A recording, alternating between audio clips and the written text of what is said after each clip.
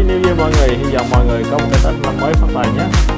Đây là cái mâm cúng của gia đình mình đây. Bắt đầu từ bên đây là Bánh tét uh, nhưng uh, trứng muối uh, Chả hoa, chả lụa và giò hủ à, Thịt kho. Gỏi Wow, the real firecrackers guys. Đây là trùng pháo này mọi người thấy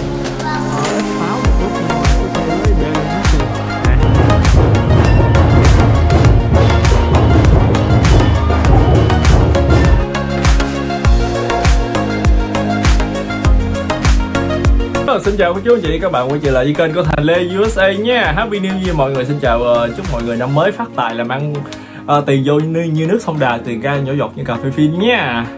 Hy vọng mọi người sẽ có một năm làm ăn uh, rất là nhiều may mắn luôn. Trong video này mình sẽ chia sẻ cho mọi người uh, xem cái cảnh ờ, vui chơi ăn Tết của gia đình mình thôi. Đúng không? Để cho mọi người người có cái nhìn khác hơn. Tại vì hồi đó giờ mọi người khi mà mọi người nghe nói tới Tết ở nước Mỹ này là mọi người chỉ được nghe một câu thôi đó làm Tết bên Mỹ buồn lắm anh Tết bên Mỹ chán lắm bên Mỹ ăn Tết rất là cô đơn. Nhưng mà trước tiên cái đó là mình không có đồng ý tại vì như mình đã nói rất là nhiều lần rồi. Mọi người tưởng tượng xem trên nước Mỹ hay trên hải ngoại này nói chung có mấy triệu người uh, uh, Việt kiều lắm tức là có mấy triệu người mà ăn Tết khác nhau. Thành ra là không ai giống ai hết á. Có nhiều khi nó buồn với người này nhưng mà nó vui với người kia công chừng đó. Mọi người nghĩ xem.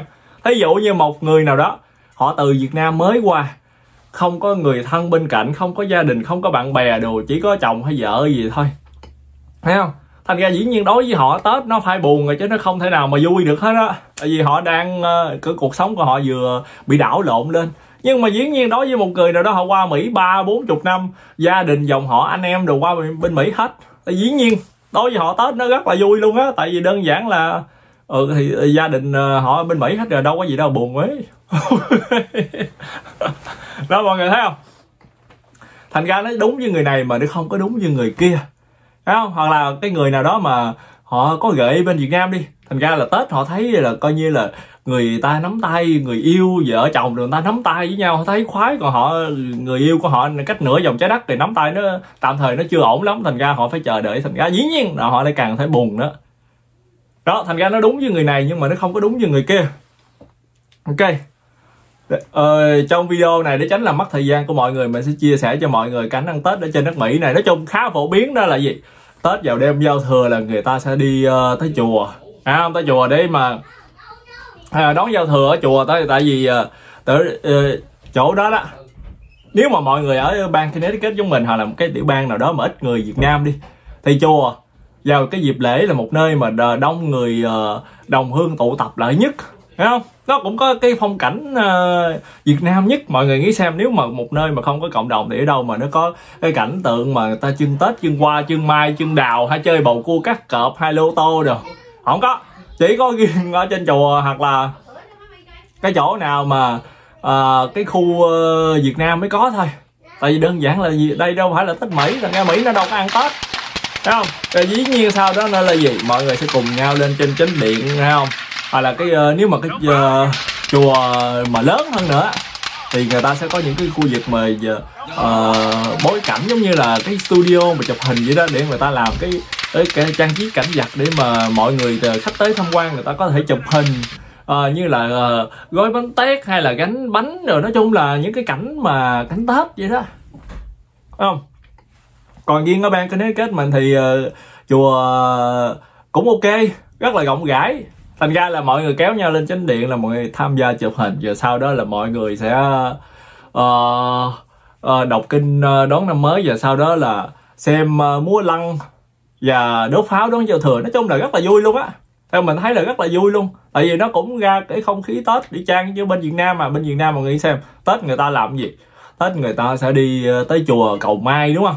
Thì bên mỹ này tết cũng đi chùa cầu mai vậy. Đúng không? Và bên sau đó? Nữa là gì? Người ta đón giao thừa ở bên người thân gia đình, đúng không? Thì như mình đã nói trong cái video trước rồi đó.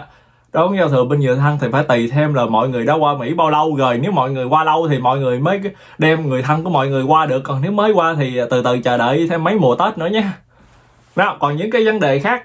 Ví dụ như mọi người muốn chơi bầu cua, hay lô tô đi, thì dĩ nhiên mấy cái đó là gì? Ở trên chùa có có thể khi người ta sẽ tổ chức hoặc là một cái khu Việt Nam nào đó người ta sẽ tổ chức ở ngoài quán cà phê hay mấy cái khu ờ, thương mại hay mấy khu ờ, shopping gì rồi đó. Là coi như là bầu cua là đốt pháo là coi như chơi lô tô là mọi người giống y chang như Việt Nam luôn. Còn dĩ nhiên nữa là gì? Sau đó nếu mọi người muốn đi chơi bên ngoài nữa thì đó là coi như là bao, ờ, bao la luôn.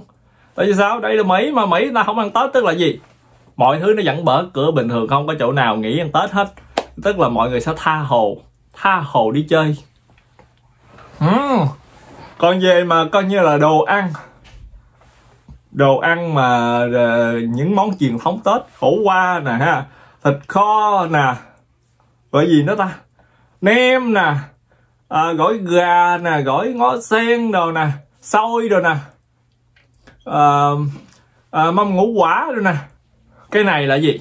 Cái này là xưa nay là mọi người cũng hay nghe nói nhất. Đó là à, mâm à, mấy món đó bên mỹ nó không có nó không có ngon như việt nam. À, cái này là mình không có đồng ý ok cái này là mình không có đồng ý. Tại vì cái món ăn mà nó có ngon hay không là tùy thuộc vào người nấu nữa. Chứ không phải cái món bên mỹ thì nó không ngon món việt nam ok? Này là mình phản đối mình phản đối ok? Nó phải tùy thuộc vào cái bàn tay của người nấu nữa. Mình đảm bảo ở món ăn ở Việt Nam hay món ăn Mỹ đều mà nếu mà qua tay một người nào đó mà nấu ăn ngon đó nghe là tự nhiên cái món nó ngon thì mình đảm bảo. Nếu mà qua tay mình nấu đó nha thì uh, uh, cái đó không đảm bảo ok? À, còn cái mâm ngũ quả thì đó lại càng là cái cái uh, kiểu mà gọi là trước tiên đó là gì? Mọi người nên nghĩ xem. Ở đất mỹ này nó là xứ ôn đới. Xứ ôn đới có nghĩa là nước mỹ này nằm ở, ở phía bắc bán cầu nó không có phải là xứ nhiệt đới giống như việt nam Đúng không? Dĩ nhiên ở Florida là nó có thể là, gọi là xứ nhiệt đới hay là bên Puerto Rico hay bên Hawaii rồi đó. Nhưng mà căn bản là nước Mỹ nó là thuộc về ôn đới. Khí hậu nó có ờ, là nó lạnh lạnh mát mát. Nói chung là mùa đông này là đa số các nơi nó đều lạnh hết thành ra nó không có trồng uh, uh, những cái loại cây ăn trái giống như bệnh Việt Nam hay là uh, mít bưởi sồi sầu riêng mãng cục mãng cầu đều được thứ hai đó là gì? Theo truyền thống văn hóa phương tây á, thì người ta cũng không có ăn mấy cái loại trái cây đó nữa. Mấy cái loại trái cây đó bên mỹ nó gọi là những loại exotic tức là những loại mà giống như là gì đây ta? À, không biết exotic dịch ra tiếng việt nam là gì đây? Cho mình google một cái đi. Nói chung là những loại trái cây mà nó khá là lạ lẫm đối với người phương tây đó. Mọi người có thấy mỹ trắng nào mà đòi ăn sầu riêng hay măng cục? À, bao giờ chưa? Không có. Hay là à, mỹ trắng nào mà đòi ăn cốc ổi chưa? Không có đó đó là mọi người nghe, hiểu rồi đó. Thành ra là gì? Về phương tây này đó, là những nó không, những cái loại mà hoa quả trái cây Việt Nam đó, đa số là gì, nó không có được ưa chuộng. Trước tiên là bên Mỹ này thật ra là gì, không có trái cây Việt Nam. Người ta gọi trái cây Việt Nam chứ thật ra là gì? Những cái loại cây trái đó đó, nó có ở Việt Nam.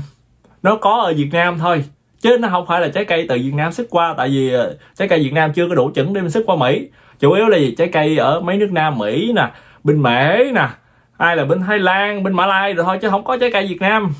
Đó. người ta gọi trái cây Việt Nam là tại vì những cái loại trái đó, đó nó có ở Việt Nam.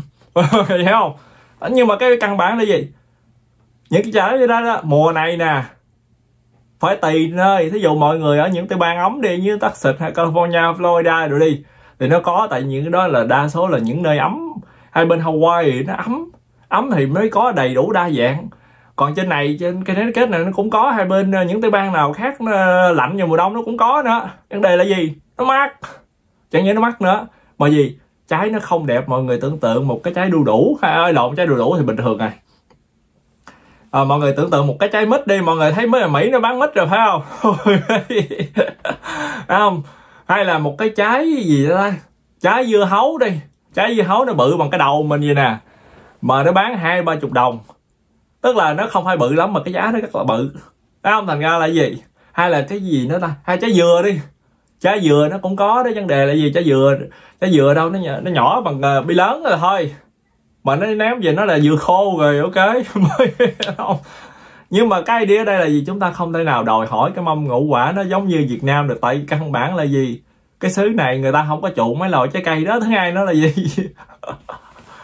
Mà hai cái hai cái thói quen tiêu dùng của hai cái xã hội nó khác nhau. Đúng không? Mọi người không bao giờ mà thấy mỹ mà người ta chặt cái dừa người ta uống hết đó không có. Hiếm lắm, ok. Chỉ qua bên mễ hai mấy nước ờ, dùng keo rồi mới có thôi, chứ mỹ trắng ta không có chặt dừa người ta uống. Ta uống dừa hộp không à tức là trái dừa mà nó vô hộp á. Thành ra là về cái mâm ngũ quả thì chúng ta không thể nào đòi cái mâm ngũ quả như là ở Việt Nam được hết á. Mâm ngũ quả chỉ là cái mâm ngũ quả tượng trưng thôi. À, mọi người muốn chân gì đó chân như nhà mình là mình chân những loại trái cây mà mình thích à. Ok. Thôi video đã dài xin chào tạm biệt mọi người nha. Bye bye.